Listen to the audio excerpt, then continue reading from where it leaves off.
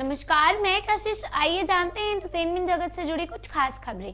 कल पूर्व प्रधानमंत्री अटल बिहारी वाजपेयी की अट्ठानवी जयंती थी।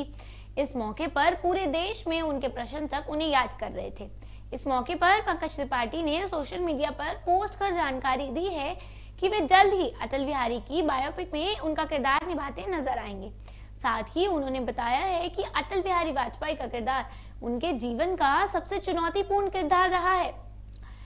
बता दें कि अटल बिहारी वाजपेयी का जन्म 25 दिसंबर 1924 को मध्य प्रदेश के ग्वालियर में हुआ था।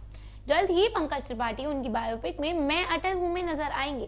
पंकज त्रिपाठी ने अपने इंस्टाग्राम अकाउंट पर फ़िल्म मैं अटल हूँ से जुड़ा अपना एक लुक शेयर किया।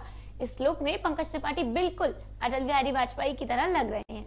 इस पोस्ट को शेयर करते हुए पंकज त्रिपाठी ने पंडित धीरेन्द्र त्रिपाठी की कविता की लाइनें लिखी हैं। न कभी कहीं डगमगाया, न कभी कहीं सर झुकाया। मैं एक अनोखा बल हूँ, मैं अटल हूँ।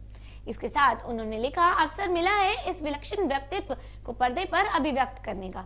भावुक हूँ, कृतज्ञ हूँ मैं अटल हूँ, सिनेमाघरों में दिसंबर 2023 इस वीडियो में पंकज त्रिपाठी अटल जी की तरह कई पोज देते नज़र आ रहे हैं। बैकग्राउंड से आवाज़ आती है, मैं अटल हूँ। इसके एक दिन पहले एक्टर ने एक पोस्ट शेयर कर लिखा था, बहुत सा रोमांच हल्का सा डर, मन में कई भाव, पर निष्ठा से प्रबल हूँ। अटल जी की किरदार को समर्पित अब मैं अटल हूँ। अटल जी के व्यक्तित्व को पर्दे पर साकार करना किसी परीक्षा से कम नहीं, लेकिन इस परीक्षा में उनका आशीष हमारे साथ है। हमें अटल विश्वास है। हैशटैग मैं अटल हूँ, जल्द ही। आज के लिए बस इतना ही। धन्यवाद।